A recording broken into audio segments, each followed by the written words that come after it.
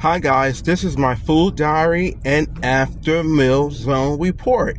Guys, look, at 6 p.m. my blood sugar is 83 and today my food diary of today was mm-hmm. I started off with coconut oil as usual, followed by my chia seed tonic.